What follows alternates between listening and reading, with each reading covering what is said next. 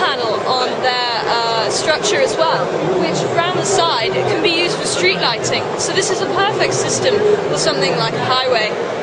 The vertical uh, paddles at the top actually are a new innovation, which means that wind direction is not uh, relevant for this product.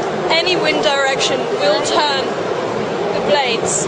And there's actually a uh, different, a, a very special kind of cog system in the top part where the blades rotate, and it's the same technology they use in part of the Shinkansen over here in Japan.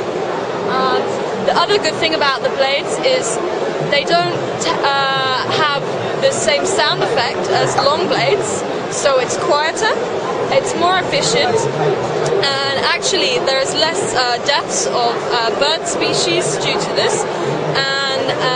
General, it's a, it's a new integrated design for urban and uh, expressways.